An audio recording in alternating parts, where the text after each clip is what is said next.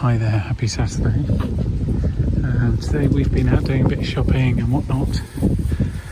Generally having a quiet day. Check out the sky. It's quite amazing. Sun is just setting.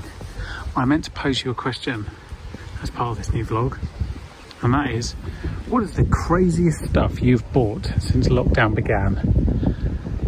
Like, give me your top three. I mean, I've got more than three, but give me your top three uh, in comments below, please, and I will give you a guided tour of the crazy stuff that I've bought.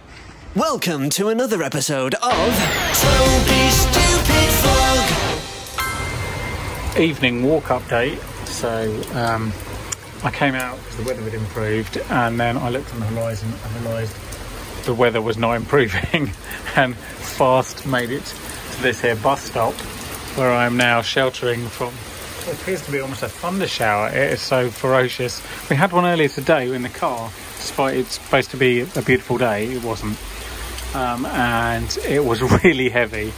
And then the barbecue that we had today involved going out of and into the gazebo to take shelter. Um, didn't put a dampener on it really, but this is not really walking weather. So I think the sky's getting lighter because I'm a perpetual weather optimist and I think I'll be walking again in about 10 minutes, but we'll have to see. Look at that, my optimism's going to pay off, I know. I'm pretty sure.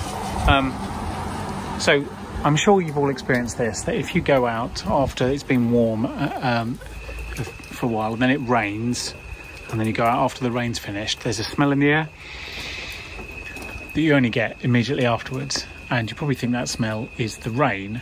Um, it's not actually. Um, it, in some cases, it can be oils from the trees that are knocked off the branches by the rain, but in most cases, the smell is actually to do with a soil bacteria.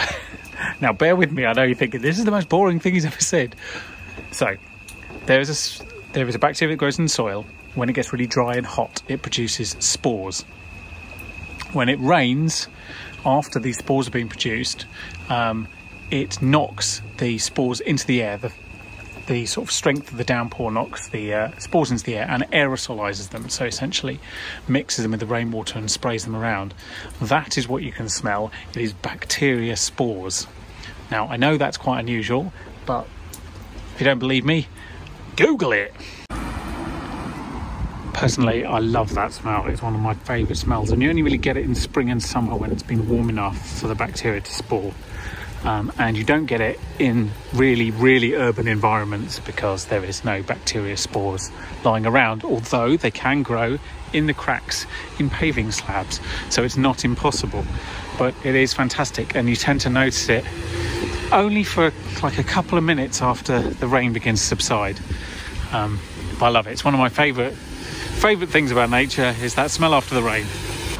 Side note, I have been informed by someone I know who's much better at science than me that actually sometimes you really do get it in urban environments if it's been lots of consecutive days of hot weather because the spores from nearby um, grassy lands or mud or fields and what have you will have landed all over the pavement and in fact the water hitting the pavement aerosolizes them even more easily than it does out in the countryside. So you can get very strong smells after the rain in cities. So there we go. Everything you never wanted to know about why it smells after it rains. You're welcome. So next time someone asks you, don't you love that smell? Just say, oh yeah, actinomycetes. And they'll look at you like, what is your problem? And then you can give them the spiel I just did. Hello from Osterley. We've come the long way because uh, someone had to sleep, but this is the back of the uh, stables and what have you, which is very beautiful. And back here is the formal gardens, which is a very long time since I've seen any of. So we're going to go and have a look. Wow. Just wow. There's Osterley from the back of the park just come around here you can see this weed that I don't know the name of which is amazing it's really pink you can see it all the way from the other end the cows are in the middle of the field which is promising. And we are heading through the woods.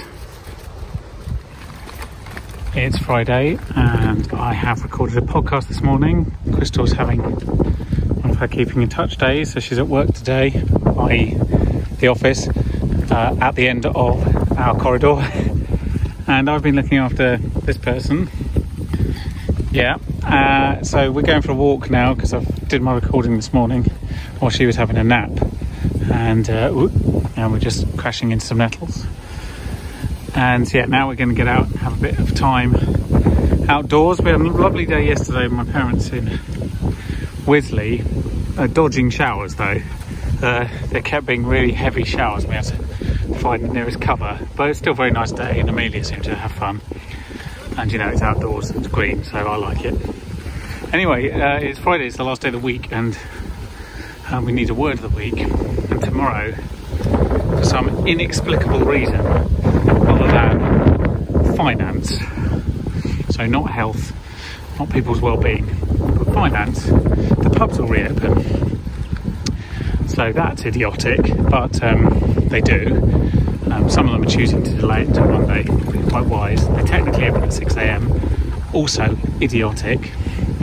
Um, but anyway, the return of pubs means this week's word of the week is the pub. The pub. So, first of all, in German, the pub is Die Kneipe.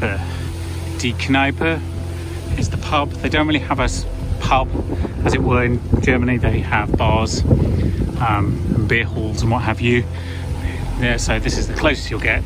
Die Kneipe is pub in German, and in Italian, they do have pubs, um, mostly Irish pubs, as a sort of mock um, Irish pubs, I should suggest, maybe not like ones in actual Ireland.